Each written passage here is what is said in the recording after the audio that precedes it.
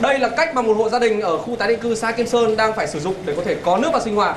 Nước giếng khoan được bơm lên đây qua một hệ thống lọc, hai hệ thống lọc, ba hệ thống lọc và bốn hệ thống lọc. Thế nhưng chất lượng nước vẫn như thế này đây. Khối này nó cũng như thế này thôi. Vậy nên anh Hiển thường xuyên phải xả cặn bộ lọc tổng. Cứ một tuần lại xả cặn một lần. Còn các lõi lọc RO thì một tháng lại phải thay toàn bộ. Chất lượng nước thì kém quá thì bây giờ sinh hoạt trong gia đình này rất lo lắng để con cái con nhỏ lo thì vẫn lo nhưng mà cái công việc vẫn phải dùng thôi thì chưa có nước sạch thì vẫn phải dùng nước này thôi biết làm nào bây giờ Nước giếng khoan nhà ông Bình được bơm trực tiếp lên bể lọc cát sỏi trên mái nhà. Nước đen xì, hôi tanh. Nước phải lọc qua tiếp một bộ lọc RO 9 cấp nữa thì ông mới dám dùng để ăn uống. Nhưng khi chỉ một vài tháng lõi đã bẩn thế này, ông vừa dùng vừa lo lắng. Hiện tại bây giờ tôi lên trên này bây giờ là khoảng 4 năm rồi, nó cũng chưa nước sạch. Đấy, nói chung là như bọn tôi về kinh tế cũng không khó, khó khăn nên bây giờ bọn tôi cũng chỉ làm gọi là thô sơ vớ vẩn thôi.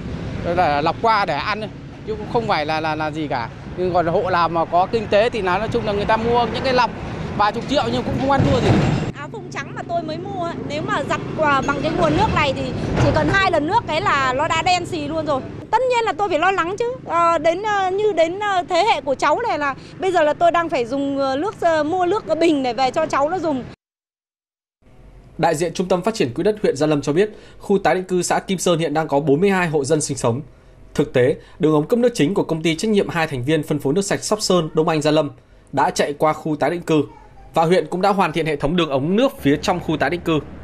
Vấn đề chỉ là khớp nối hai hệ thống đường ống này với nhau thì người dân sẽ có nước. Do một số lý do khách quan nên phải mãi tháng 3 vừa rồi, những vướng mắc của chính quyền và công ty nước trong việc khớp nối hai hệ thống này mới được giải quyết. đến 15 tháng tháng 4 thì sẽ phải đấu lối và xúc xúc xả để làm sao để nước đến vào cửa cửa các hộ dân. Dự kiến để làm sao là trong tháng 4 thì là sau khi xúc xả xong thì chúng tôi sẽ có trong tháng 4 sẽ có nước của các hộ dân nước sạch các hộ dân sử dụng. Lãnh đạo Trung tâm Phát triển Quỹ đất huyện Gia Lâm cũng cho biết, trong quá trình xúc xả đường ống sẽ tiến hành đồng thời việc yêu cầu xã Kim Sơn vận động người dân tiến hành lắp đồng hồ nước, hoàn thiện các thủ tục cấp nước. Để khi hai hệ thống được khớp nối thì người dân sẽ có ngay nước sạch để sử dụng.